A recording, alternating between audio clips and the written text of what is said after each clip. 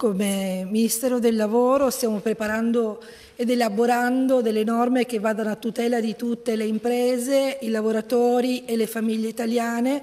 dalla previsione dell'allargamento degli ammortizzatori sociali già esistenti alla possibilità di utilizzo del fondo di integrazione salariale per le aziende che vanno anche dai 5 ai 15 dipendenti e a una cassa in deroga speciale che vada a tutelare con uno stanziamento importante di risorse che vada a tutelare tutti i lavoratori indipendentemente dal settore a cui appartengono su tutto il territorio nazionale. Le norme verranno correlate anche da eh, norme per la famiglia con previsione di congedo parentale speciale per tutte le famiglie italiane e in alternativa la possibilità di utilizzare un voucher babysitter. Si prevederanno delle norme speciali per stagionali e autonomi anche con previsione eh, di eh,